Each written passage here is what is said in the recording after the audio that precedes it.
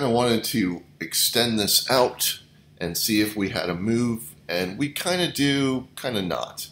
Uh, but anyway, um, here's where we are with Bitcoin. I'm going to go through the history of this uh, so you guys can focus more on the long term of what I'm looking at and what my plans are for the summer. I'm kind of be going to be re, you know, repeating myself in the sense of what I'm doing because nothing has really changed. I still have this buy down here at 45k. Um, this is where we ran up from here. This top end here in the mid 60,000 range.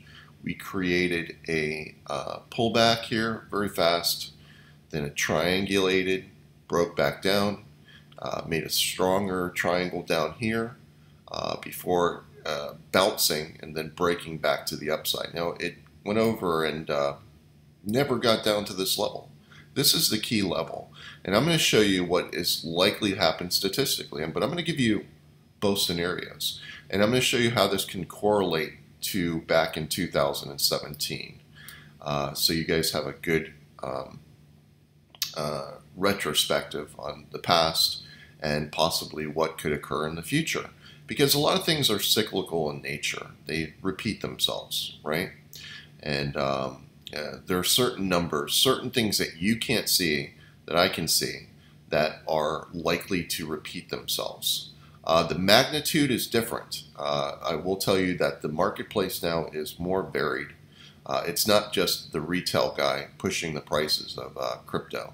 It's uh, and we could tell because of the prices are so much higher, right? We're in the fifty thousand range. We're not in five thousand or seven thousand anymore. So the market is grown greatly.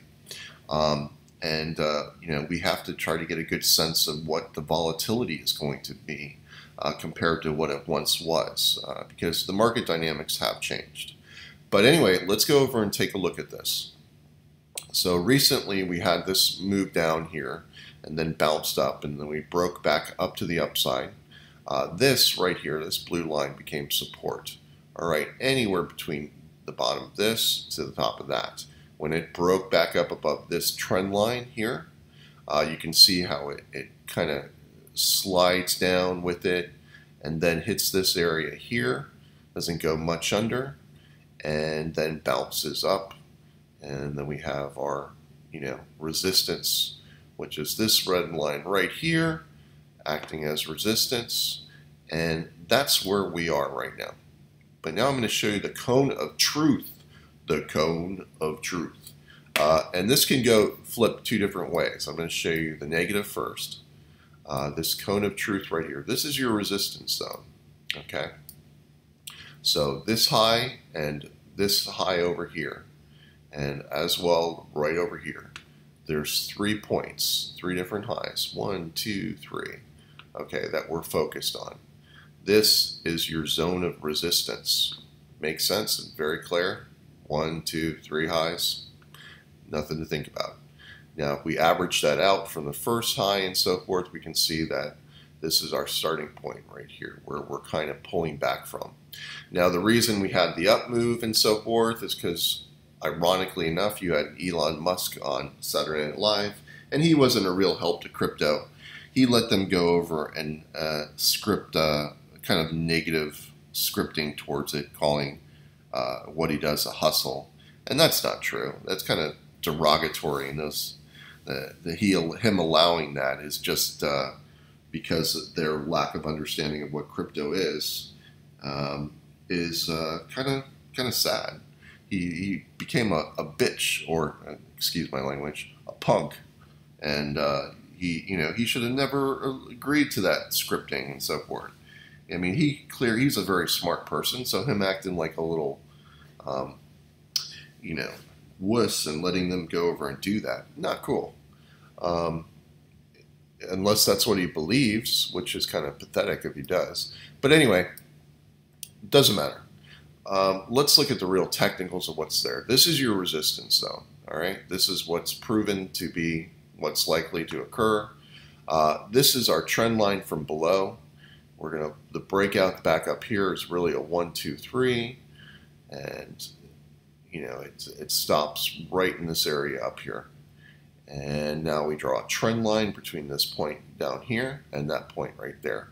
Now, if it's able to break back below 50 to 900, um, then you could probably see a pretty quick and rapid move down to that area where I want to buy. And this is summertime. This would make sense, right? This is where we would be looking for prices to go lower because um, this correlates more to the stock market, you know, buying and selling. And right now, uh, the tech stocks are getting whacked. Um, uh, maybe not today. Maybe the Dow Jones is up, but a lot of tech stocks are getting whacked because I, I think there's a few interesting, you know, things like uh, the Microsoft, uh, the divorce, uh, Bill, Bill Gates. So there are some negatives in the marketplace that are likely to occur, and they happen between May and July. And it's very normal for pullbacks to occur in this area because it's mostly the, the way the hedge funds work and their accounting that they do. And it's just a cyclical nature that you're more likely to have a down move, um, especially after new highs and, and an up move uh, during the winter time. So your statistics go up for that. Now, uh, that's not always the case. Uh, there are times uh, where that wouldn't be the case, but for now, statistically, the odds are higher that we'll get downward pricing. And that's fine. Uh, so what we're looking is that we get this downward shift and uh, we can go as low as the 35,000 and maybe even the 30 uh, area. And that's going to be around 50% of the moves to, from the highs right down here, uh, which would it just it's logical, it makes sense, and uh, you know that would be a great buying opportunity. So I'm going to be loading up during the summer if I can get that pullback down here. But what happens if I don't get that pullback? What if we flip to the upside and instead go 30 above, right? Let's see, and we go back up to this trend line up here that is also a possibility. Uh, it would require a breakout above these highs right here. And um, then continuation upwards. And if that occurs, I would be looking for a, a, strong, you know, move that goes directly to the trend line and above. So this area up here, all the way up to 95K, uh, would be my primary target. Uh, and uh, that would indicate that this market doesn't care. And there's a few things out there that kind of point to this being a possibility. And I'm going to show you one of them. This has to do with the the amount of Bitcoin out there. There are it's hard it's not always easy to tell, but there are certain metrics that I can use that tells me the amount of supply out there. And right now the amount of supply is very low all right, and it's dwindling. So there's not a lot of movement, uh, you know, uh, downside movement, or people are holding on to their coins. And uh, so uh, the less supply, the more likely you're, you know, going to get moves higher, or at least they they stabilize. Um, so as we've seen in the past, everything gets bought, and the amount of supply out there gets diminished. And this could be from a few factors, and this, this is fundamentally occurring that the hedge funds are just buying and holding, then uh, supply is uh, dwindling, and when you do get that movement upwards, it could be pretty uh, quick and so forth. I mean, it's already demonstrated itself on other coins like uh, our friend Ethereum, which has made new highs just today. Uh, a matter of fact, if we go back here, it's trading up to the 4100 uh, 4200 would be a, a one-to-one basis on, um, I think you heard me say that before, for uh, Bitcoin to Ethereum. But everybody's extremely excited about Ethereum. And uh, so that's one thing that is, uh, you know, keeping a, a, lot of people are buying Ethereum uh, because they want alternatives to Bitcoin.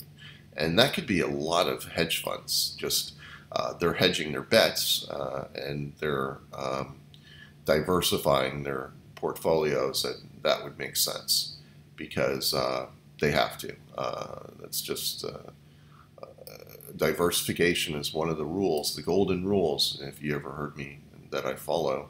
And so today, uh, that's you know what they're going to do. But getting back to Bitcoin, um, you know, so what are we looking for here? Well, we're going to focus on this right here. This is our key number at 52. So if we break back below this trend line here, and we go back under 56, let's say, and uh, we're kind of pulling back from this resistance zone. Um, then we want to see this number down here. If this breaks, then we're going to look for that 45K and under. Uh, end of the world. People are going to be all over the TV telling that it's uh, crypto, it was a big scam, and it was a hustle, and all kinds of other bullshit. And we're going to the floor. And at the same time, all these hedge funds and so forth are going to be buying as it goes lower. so, and you know, it would make sense to go into the the um, the summertime. But what happens if it doesn't? Like I was saying, what if it doesn't and it keeps going higher and we break through this? Well, this is our scenario to the upside. Is that we would get that move up to maybe up to 95k, somewhere in that area, right? Under 100,000, 95, 96. Uh, that would be a relative move. So we're either looking for the move to go up to here or we're looking for the move to go down to there. Um, and that's where I would be loading up into the summertime. So we've got about a 30K move from this area here up or down. Um, so if that makes sense to you, uh, it, it rationalizes with numbers both to the up and down, you know, scenario. Um, and it, it, comes to uh, the 30,000 to 32, 5, somewhere in that range. So um, it, it, everything correlates to that. So I, I like the numbers, and I, I kind of, again, I, am uh, you know, not buying like crazy. So I, I kind of think we're going to get more of a pullback for now. And then later on in the year, we would look towards the winter time after summer, after July that will get the bigger move upwards to our grand target of 118,894. Uh, and then from there, we're going to see, we're going to see if we uh, continue higher and get even more, because from there, the statistics say this is the minimum. Uh, and then the max could be somewhere in the 240, 260 range. Uh, that is a possibility. Uh, that would be, you know, the the high end. Uh, let's say this is your minimum target. So we're going to see if we can get that by the end of the year. Uh, towards the end of the year uh, would make sense on from July all the way on out. So the volatility could increase greatly. Now let's go back into the history of Bitcoin. I'm going to show you past trading that I've had and uh, throughout back in 2017 to 2018. Uh, now, this was a time where Bitcoin was trading under. It was actually in the 2000 range and even lower than that. It doesn't show it on this right here on this chart. Uh, it doesn't go back far enough. Let's see if uh, anybody else does. Let's see which ones we have. Mm -hmm. Can't use a four hour, that's for sure. Let's go by a weekly. Da, da, da, mm-hmm.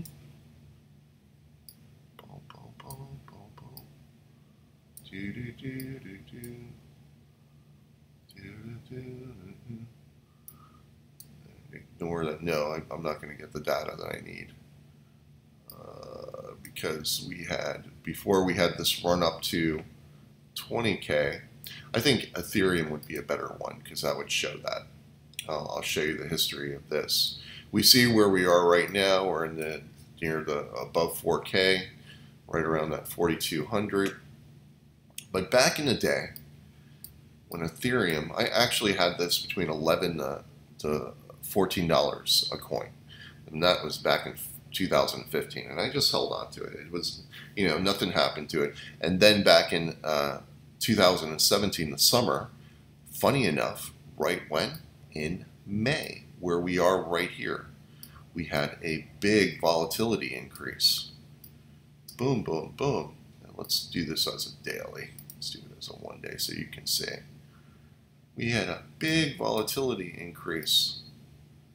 Where am I here? This was the old buy zones. Okay, so this was May of 2017. All right, it went up. It had a big move. Uh, we were excited because it was, uh, you know, these 11 to 14 dollar coins that I had uh, broke out and went up to the 50. So it's a five times the value of it. And I was like, oh wow, that's awesome. But you know, um, uh, it wasn't a giant size investment for me, so I, I just let it run. And then in May of 2017, we got a spike up, pulled back, and then it kind of just drifted, drifted, drifted, drifted in the 80 range, and uh, then it had its big move up, and that was around what was it, 20th, 19th, somewhere in that uh, the, the in May, and it just spiked up and just kept going. It had a big pullback here, but then spiked back up and kept going, and then it ran all the way to the $400 level and I sold up here. I thought I was the king of the world. Da, da, da, then it pulls all the way back to under 200, under 50% of the range of its range from here. I started buying again because you see this spike right down here? Anywhere from this point on, if you see this right here, where these candles, uh, this was a great buying. Even from this this point right here, if we look right here. So I start buying it again. I get a great discount and everything within right there, let's change the color on this to blue. And so you can see, boom, boom, boom, boom, boom, boom. And okay. Everything from here. In relative terms, you want there all the way down to here. Uh, this is your support, your main support, this whole area right here. Um, and this is where you would start buying right there. So you can see where it's supported, boom, boom, boom, goes up, goes back near the highs, pulls back again down to this area, then kind of meanders around, and before it made its bigger move up to the 14. Uh, so I want you to think about that. This is the way the price action worked, and it became very uh, it was very loose. It was so you had wide ranging ranges, and profitability was ridiculous. It was stupid. I, I, won't deny it was stupid, and I was able to turn you know relatively small amounts of money to me. Uh, you know, because I'm from the currency space. I'm not from the crypto. And back then, I was like, holy crap! Look at this movement. I was like, this is fantastic. The volatility and the liquidity is just wow. I'm going to be trading crypto, and uh, from the summer of uh, from this point on, uh, my focus became all about crypto, and the profitability was just ridiculous. Uh, this was another one that I had had a pattern that goes all the way back to 600 and under. And here, Spanish cross, I'll probably tell you about that in the future, about how that works. Uh, it's not in technical analysis books because uh, most people don't mathematically calculate numbers like that. But anyway, I'll, I'll go on to that in the future. Um, this was a great short, had a pattern up here, and it pulls all the way back down to here before making a, going up and retracing to here, but it was still in a downtrend. After this, this was your blowout. Uh, this was where I was a naked short, where not only did I sell everything, I went over and shorted the market and had risk. And I was targeting numbers at from 600 and under. And this is from people that were in the group from years ago that would be able to tell you this is was my plan. And then this was your support buy zone. Uh, got our bounce selling up here, da, da, da, and then we broke. We had just tons of trades, and my ROI for that period of time um, was off the charts, uh, and uh, it just was ridiculous. Um, great times. Uh, but everything was clear technically. Uh, the selling, uh, I had, I, I, knew that this was going to pull back hard uh, from this point and the moves that we had. But this all started with a move from here in the in the summer in May. Something you have to say. Um, you know, this is a possibility. The volume metrics are similar, not the same, but similar. So this is a possibility. Uh, on a percentage basis, we already had a pretty big move, but so did back here when we ran from 11 all the way up to 8 you know, 80s, uh, $80 and so forth, and, and even to the 50s, that was a big move. But it became bigger, right?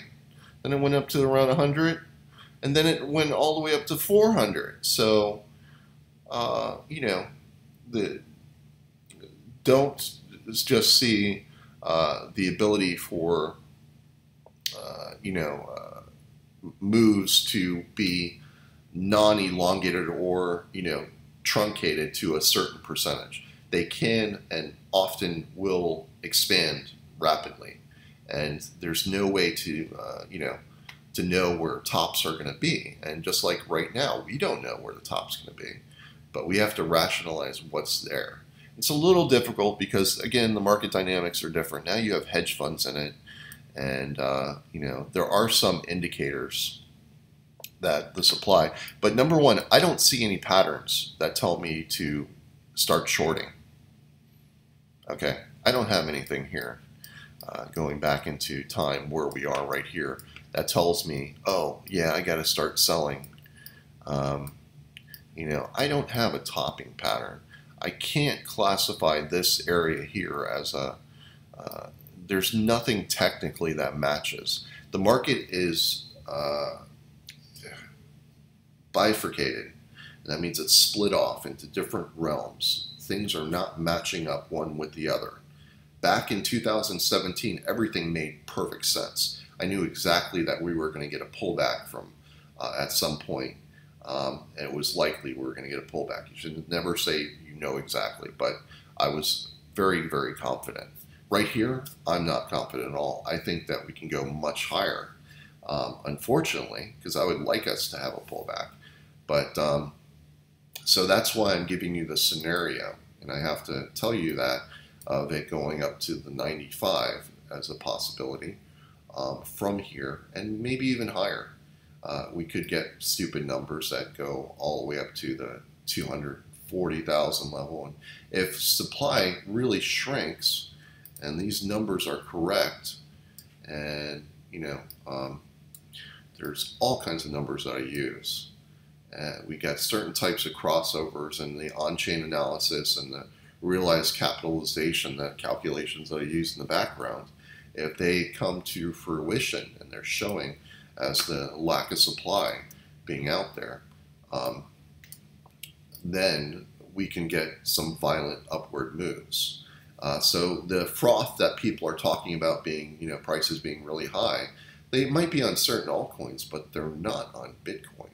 Bitcoin is very steady. It's not shown any ridiculous upside moves on a percentage basis. It's just been trending solidly. I would be looking for patterns and great deal of volatility to indicate that we have some uh, looseness in the market. And I've not seen that yet.